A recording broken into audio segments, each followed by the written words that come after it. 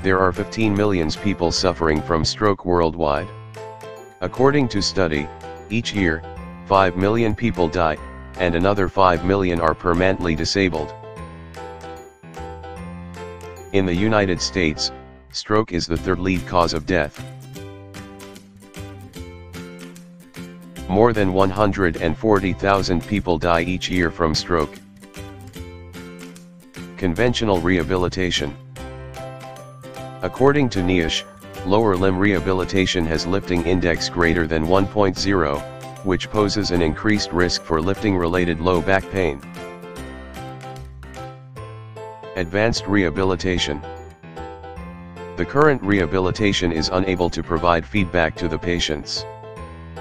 Next, the cost of rehabilitation is high. For example, it is 80 ringgit Malaysia to 150 ringgit Malaysia per session in Kuala Lumpur. Furthermore, 37% of patients were not satisfied with the services in T hospitals, according to a survey done by Mohammed Nasiruddin.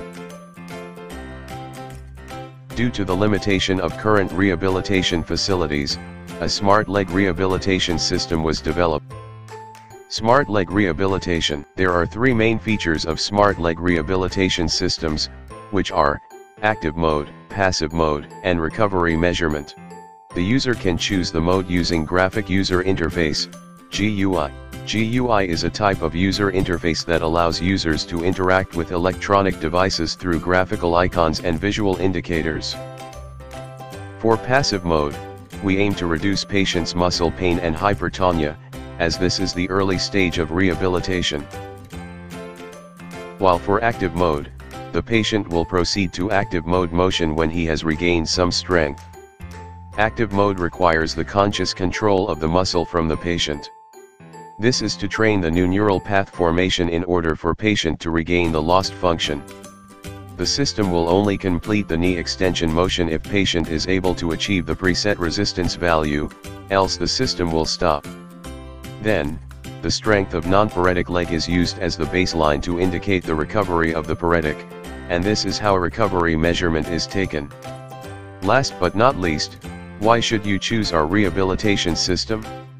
Our system is equipped with active mode motion, which aid in training new neural path.